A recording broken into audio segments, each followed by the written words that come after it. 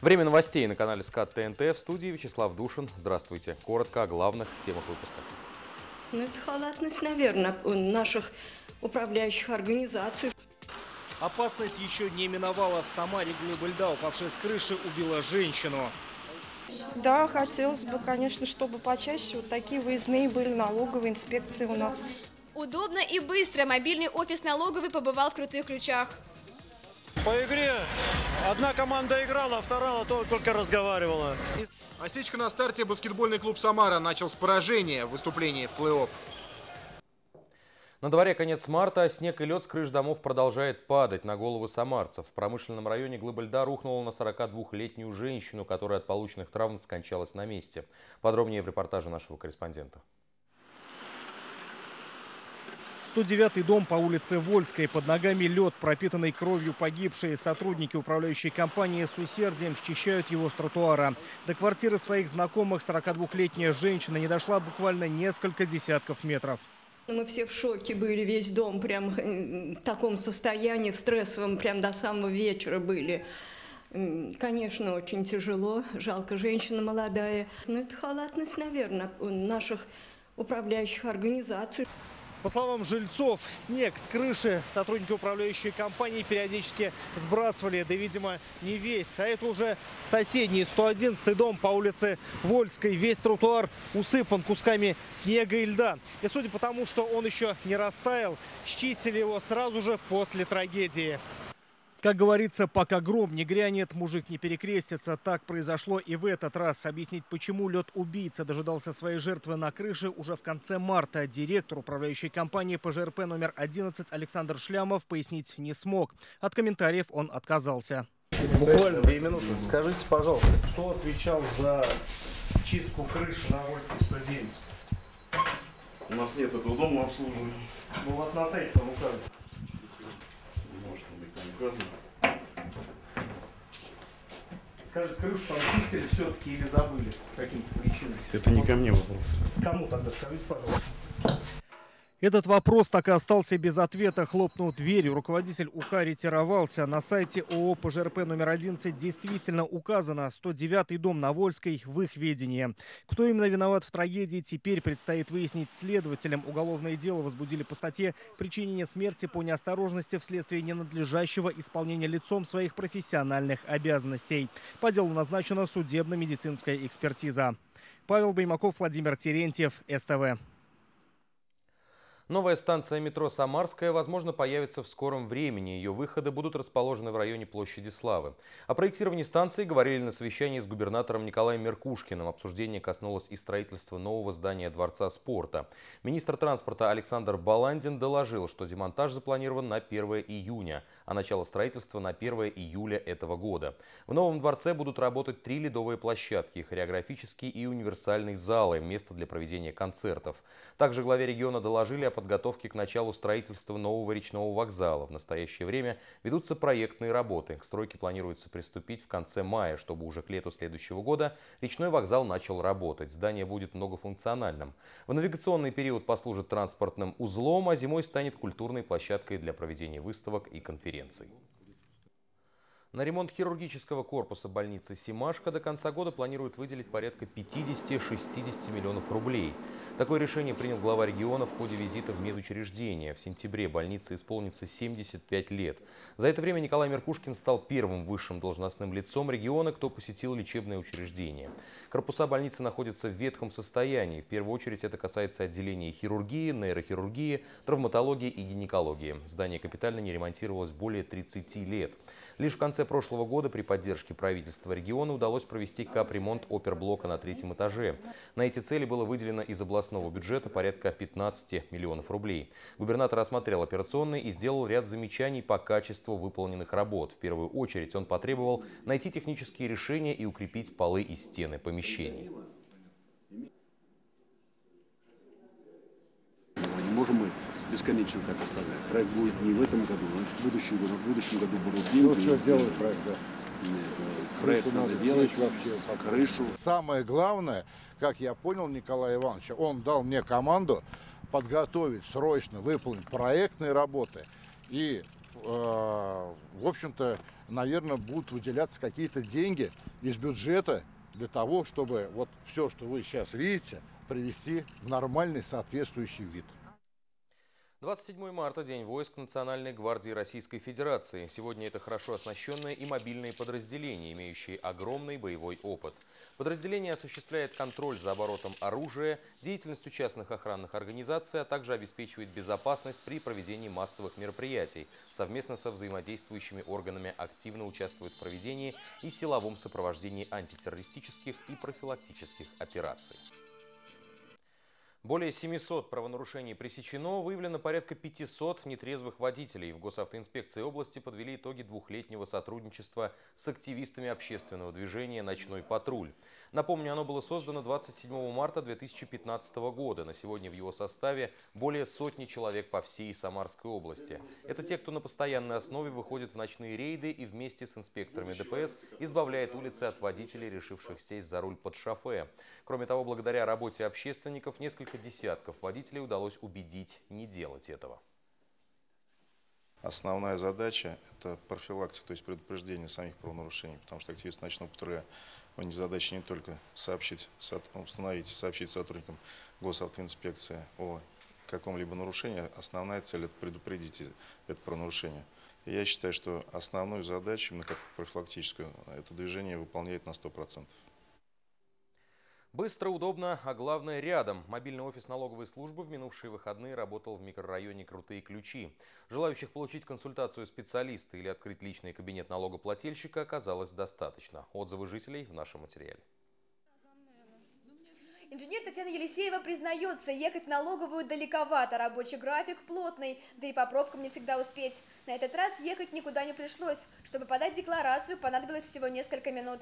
А в будние дни ну, работаем э, территориально далековато от управленческого, поэтому как бы здесь вот очень удобно сделали нам. Вот. Благодарность выражаем.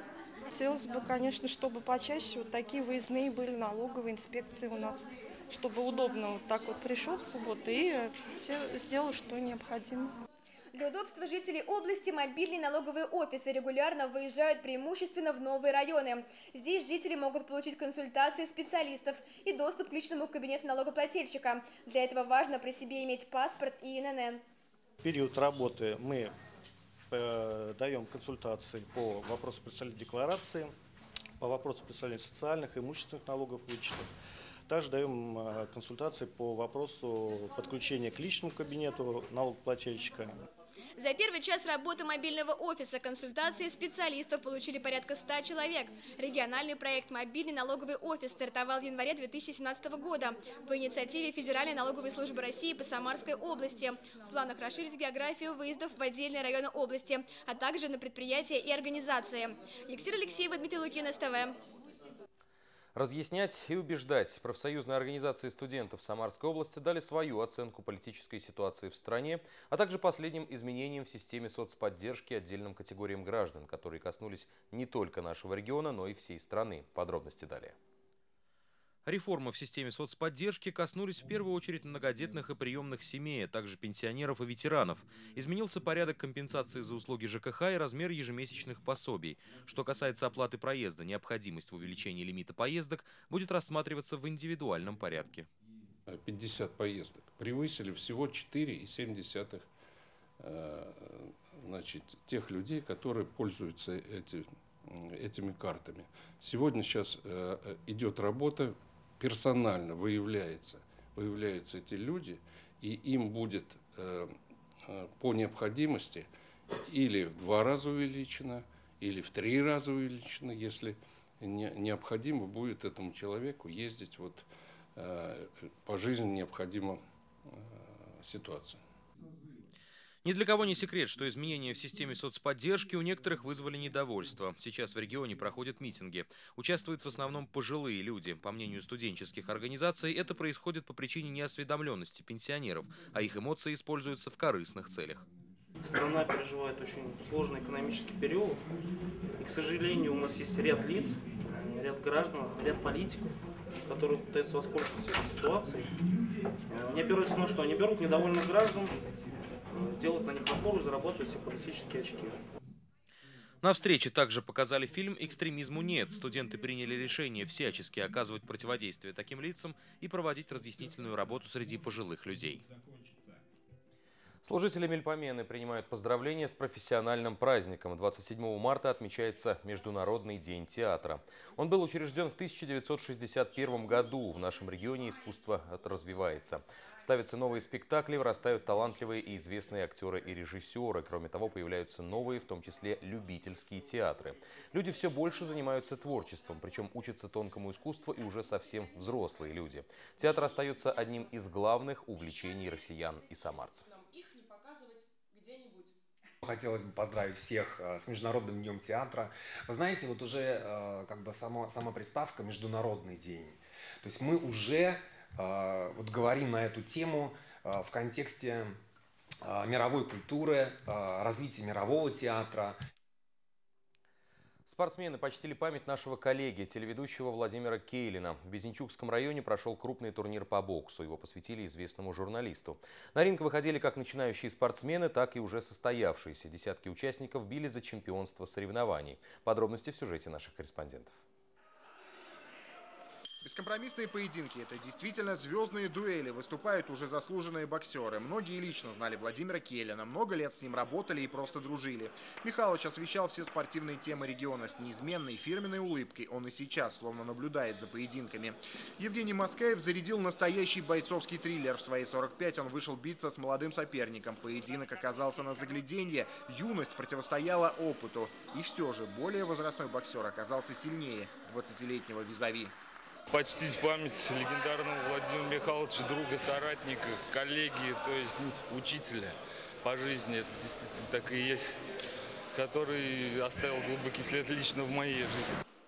Порядка сотни участников и десятки мощных поединков. Состав подобрался действительно боевой и авторитетный, а география турнира и вовсе уже давно вышла за пределы только нашего региона. Нам очень отрадно, что на стране приехали, приехали спортсмены Царебургской области, Нижегородской области и сильнейшие боксеры Самарской области. Победители Европы, победители мира, мастера спорта, кандидаты в мастера спорта в дань уважения прекрасного человека. Турнир по боксу памяти Владимира Керина в Безничукском районе проходит уже в третий раз. И можно со смелостью говорить, что он стал традиционным. Нашего коллегу помнят и чтят спортсмены всего региона.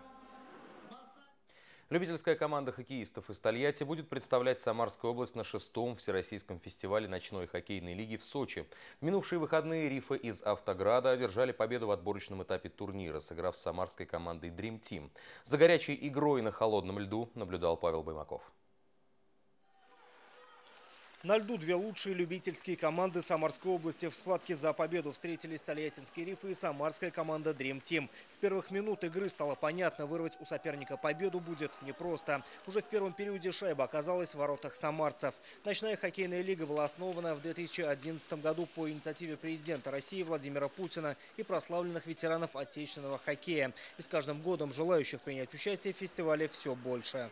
В этом сезоне у нас 832 команды по стране э, и э, приблизительно около 17 тысяч хоккеистов. И э, я хочу сказать, что тенденция на сегодняшний день такова. Очень огромный интерес, большой ажиотаж. Только в Самарской области за победу в отборочном этапе боролись 10 команд. В итоге в решающей схватке встретились Рифы и Дрим Тим. Второй период также не увенчался успехом у самарцев. Шайба снова оказалась в их воротах. В третьем периоде ситуацию изменил самарский игрок Дмитрий Воробьев, забив шайбу тольяттинцам. По словам первого заместителя министра спорта области Андрея Харина, победа в отборочном этапе, а затем и в финале – это не только слава и почет, но и дополнительные блага. Стимул есть, и, насколько я знаю, там, в прошлом году одна из команд, э, выиграв, получила эту привилегию строительства спортивного объекта в регионе.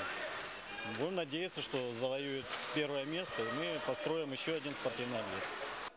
Бороться за победу в Сочи, как и два прошлых сезона, предстоит тольяттинской команде «Риф». И буквально за 20 секунд до окончания игры они забили третью шайбу ворота самарцев, тем самым победив в отборочном туре. Настрой боевой, за плечами сезон, потрачено много времени, тренировок, денег, э, надежд, эмоций. Э, поэтому все готовы в полном объеме, в полном составе. Все выходим на лед сражаться. Игры фестиваля ночной хоккейной лиги среди команд дивизиона «Любитель 40+,» пройдут в Сочи с 3 по 10 марта. Павел Баймаков, Николай Сидоров, СТВ. Баскетбольный клуб «Самара» начал с поражения выступлений в плей-офф. Обидчиком волжан стал Владивостокский «Спартак». По сути, приморцы без особых проблем разобрались с нашей командой. И таким образом волжане значительно ухудшили свои шансы на борьбу за медали чемпионата. Подробный отчет об игре, а также о дальнейших перспективах в нашем следующем сюжете. Осечка на старте, начало дуэли стало холодным душем для наших парней. У гостей получалось все. «Спартак» оказался на голову выше практически во всех компонентах.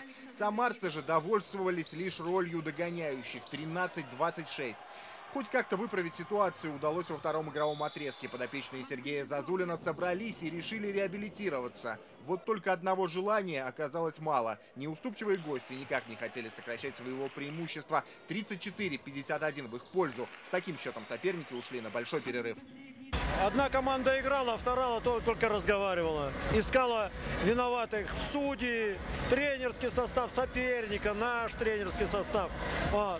До тех пор, пока команда будет э, и отдельные игроки разговаривать по поводу судейства или еще, каждый человек должен заниматься своим делом.